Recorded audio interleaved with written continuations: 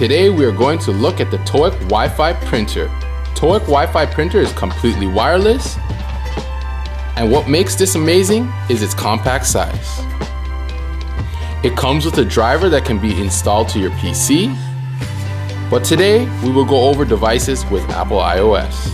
Start by going to your Apple App Store, select the app and search for the TOEC app to download. Press the Wi-Fi button on the TOEC so it can be paired. Start up the app and then we will go into the settings app on the iPad. Under the Wi-Fi tab, we are going to look for the TOEC Wi-Fi.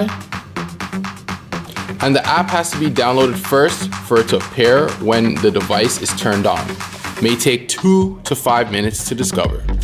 Return to the TOEC app and click search to make sure the TOEC printer is connected with the check mark beside TOEC. Voila. We find our images in the photo tab. Select the photo you want to print. Prepare the stencil paper and remove the onion sheet. We're going to keep the yellow side facing up. Make sure the strip that connects the sheets enters the printer first.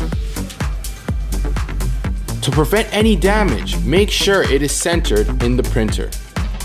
In the app, hit the print button. Boom. 0 to 100 real quick.